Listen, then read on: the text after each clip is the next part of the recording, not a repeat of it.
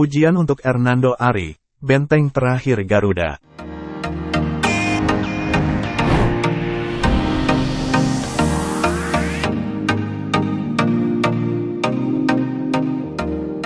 Hernando Ari Sutaryadi tampil gemilang ketika timnas Indonesia menang atas Vietnam pada laga kedua Piala Asia 2023. Timnas Indonesia berhasil mengalahkan Vietnam dengan skor 1-0 pada laga kedua grup D Piala Asia 2023, Jumat, tanggal 19 Januari tahun 2024, di Abdullah bin Khalifa Stadium, Doha. Gol tunggal timnas Indonesia dicetak oleh Asnawi Mangkualam dari titik penalti pada menit ke-42. Kemenangan timnas Indonesia atas Vietnam tidak bisa dilepaskan oleh Hernando Ari Sutaryadi yang mengawal gawang skuad Garuda. Hernando Ari membuktikan diri pantas menjadi benteng terakhir timnas Indonesia yang tak bisa ditembus pemain lawan. Kiper 21 tahun tersebut mencatatkan 5 penyelamatan.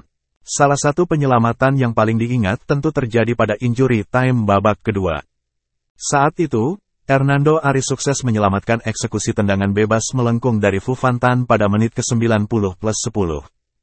Penyelamatan tersebut menjadi penentu kemenangan timnas Indonesia pada malam itu. Apalagi penjaga gawang asal Semarang tersebut sampai mengenai tiang gawang usai menyelamatkan tendangan tersebut. Penampilan penjaga gawang Persebaya tersebut mendapatkan pujian dari berbagai pihak. Salah satunya datang dari pelatihnya di Persebaya, Benny van Breckelen. Benny Van Breckelen adalah pelatih kiper Persebaya puas dengan penampilan anak asuhnya itu. Saya sangat puas dengan penampilan Hernando kemarin, kata Benny, dilansir bolasport.com dari Antara. Dia beberapa kali melakukan penyelamatan bagus. Apalagi penyelamatan dari tendangan bebas di menit akhir itu. Bolanya mengarah ke pojok atas gawang, tetapi bisa ditepis Hernando, imbul sosok berdarah Belanda tersebut. Benny menjadi aktor penting di belakang melejitnya potensi Hernando Ari sebagai salah satu penjaga gawang jempolan Indonesia. Pelatih berdarah Belanda tersebut menyebut Hernando Ari layak menjadi pemain terbaik dalam laga lawan Vietnam. Ex-kiper Arseto Solo tersebut mendoakan Hernando Ari bisa membantu timnas Indonesia lolos ke babak 16 besar Piala Asia 2023. Kalau lihat penampilannya, pantas menjadi man of the match, ujar Hernando Ari. Boleh dibilang babak kedua kita ditekan terus dalam laga itu. Saya mendoakan semoga Hernando bisa membawa Indonesia lolos ke babak 16 besar.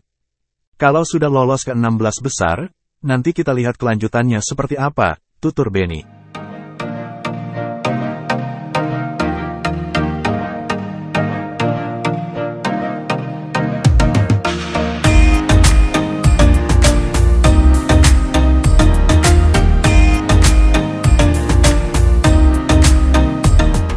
Download Tribun X sekarang.